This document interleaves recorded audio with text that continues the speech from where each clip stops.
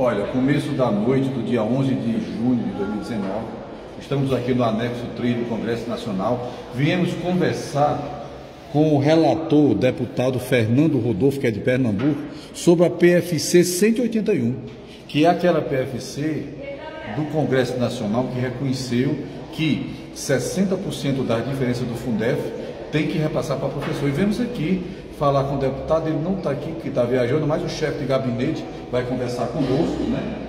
Aqui, ó, é o gabinete 481, deputado Fernando Rodolfo, né, de Pernambuco. Então vamos entrar aqui no gabinete dele, conversar aqui com o chefe de gabinete, que é o pessoal da assessoria.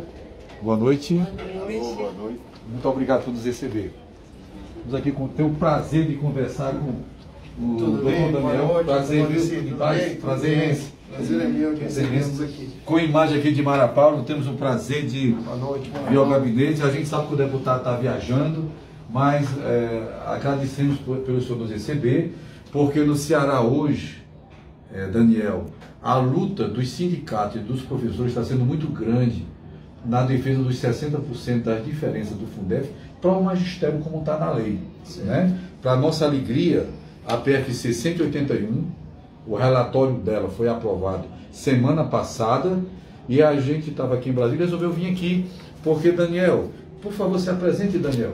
Boa noite, boa noite, professores. Sou Daniel Vezeli, chefe de gabinete do deputado Fernando Rodolfo. É um prazer receber o Dr. Valdeci aqui, com a sua assessoria, e dizer que mexer com o professor, mexeu com o Fernando. Nós, o nosso mandato aqui eh, está pautado na defesa de vocês, professores. Foi com muita alegria e satisfação que nós relatamos essa matéria do Fundef dos 60% para o professor.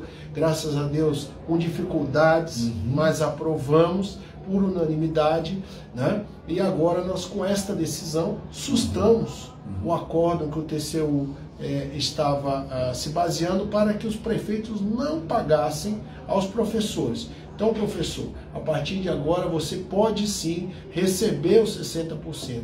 Pro- O prefeito pode e deve pagar com a partir da nossa PFC 181. Estamos juntos nessa briga e outras que eh, se avizinham eh, e que nós aqui vamos lutar os quatro anos em defesa de vocês. Daniel, é, essa comissão que foi formada, ela tem quantos dias para fazer o trabalho dela em relação para investigar os prefeitos que não cumprirem o que manda a PFC, que é destinar 60% da diferença do Fundef para os profissionais do magistério. É, nesse caso aí, quanto Nós- tempo ela dura? Nós, é, é legal e legítimo, nós demos 120 dias a partir da aprovação, ou seja, da semana passada. Eles têm 120 dias para concluir este processo de fiscalização e terminar com esse assunto, né? Então, é, é, nesses 120 dias, ac- acho que estará tudo concluído. Mas reforçando que a partir da nossa aprovação, a gente sustou o acordo que paralisava esses pagamentos. Então, você, prefeito, não deixe de pagar o nosso professor. É, o que o Daniel diz aqui é muito importante, porque nós no Ceará, eu digo nós porque eu conheço meus colegas advogados que advogam no Ceará inteiro também, conheço todo o movimento sindical. Olha, Daniel, a gente estava sofrendo muito. Ah, eu digo até num videozinho que eu gravei analisando essa PFC, que, que essa PFC na semana passada ela não foi a luz no fim do túnel, ela foi um sol no fim do túnel para nós, porque de tanto repetir esse acordo do TCU, e o TCU mandou oficial do Tribunal de Contas do Estado do Ceará, que também deu o mesmo comando para os prefeitos, proibindo de ratear os 60% para o magistério, mas fundamentando tudo no parecer do TCU. Daniel, uma coisa muito importante que a gente tem debatido nas assembleias. A gente coloca nas assembleias que o TCU, ele é um, um tribunal de contas que assessora o Congresso Nacional. É isso mesmo? Qual é o papel do TCU e por que que a PFC da comissão prevalece eh, sobre o acordo do, do TCU? Isso é muito importante. Muito, muito né? bem lembrado. É, é, Valdeci, que na verdade o TCU estava confundindo o seu papel.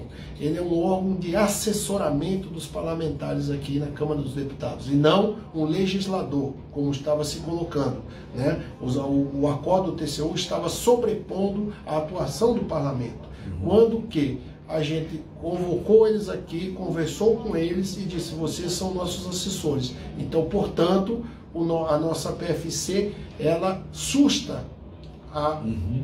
a, o acordo que estava é, em vigorando, porque, como já dissemos e volto a reforçar, eles têm um papel acessório e não um papel decisório. Decisão é do parlamentar. É, isso é muito importante porque é muito importante lembrar que a República Federativa do Brasil ela tem os três poderes: o poder executivo, presidente, governador, prefeito, poder legislativo, que é o Congresso Nacional? As Assembleias Legislativas Estaduais e as câmaras municipais, e o poder judiciário, o TCU. É um tribunal, mas ele não faz parte do Poder Judiciário, ele não faz coisa julgada. E isso estava confundindo Daniel. Então, nesse sentido, isso vem esclarecer muito para nós. Muitas vezes, quando a gente estava na Assembleia, as pessoas diziam, mas tem um parecer do TCU. Alguns prefeitos, é, com quem eu participei com o sindicato negociante, diziam, olha, eu quero pagar, mas o TCU impede. Né? Aí eu lhe pergunto, Dani, é uma coisa que é fundamental, talvez para esses prefeitos que têm dinheiro depositado e não quer repassar com medo do parecer do TCU. Um prefeito desse, que não, não repasse os 60% do total do Fundef, para os professores, ele responde criminalmente por improbidade e por crime de responsabilidade, se desobedecer o TCU ou se desobedecer a PFC né, 181, que é o Congresso Nacional, é uma comissão permanente, ela é uma comissão permanente, com poderes, inclusive, de quebrar sigilo. Eu vi lá um artigo no regimento interno. Aí então, o prefeito ele, ele pode ser punido se desobedecer o acordo do TCU ou hoje ele, ele, será punido pelo, pelo, descumprimento da PFC. Como repito, e é bom que se reforce, a PFC hoje ela suprime, ela suplantou o acordo. Então, todo prefeito que não a cumprir, automaticamente está incorrendo em crime de improbidade por não cumprir a nossa PFC. Não, o acordo ele está derrubado. Uhum. Então, o que vale a partir de hoje é a PFC. Olha, eu estou aqui com o cartão do Daniel Rodrigo Veseli, né? Isso. É, pode filmar pode, o seu cartão? Pode, Olha, quem, quem, quiser entrar em contato aqui com o gabinete, né? Tá aqui os dados do, do Daniel, tem assessoria. Por que, que, eu achei importante vir aqui? Porque eu, a gente tinha que tirar algumas dúvidas e nada como vir na fonte. E uma pergunta final, Daniel, é a seguinte. Vamos supor então que determinado município, tanto do Ceará ou do Nordeste inteiro, ou dos que têm diferença a receber, que, que a, o sindicato queira fazer uma denúncia ou os professores querem fazer uma denúncia à comissão, não é? Como é que a gente procede para comunicar a vocês o fato, né? a notícia da violação ao comando da PFC? É muito importante dizer que a PFC 181 ela manda que 60% das diferenças do Fundef sejam destinados aos profissionais do magistério. Como denunciar então as irregularidades de quem não fizer o rateio? Façam um e-mail aqui para o gabinete, estamos à disposição, deputado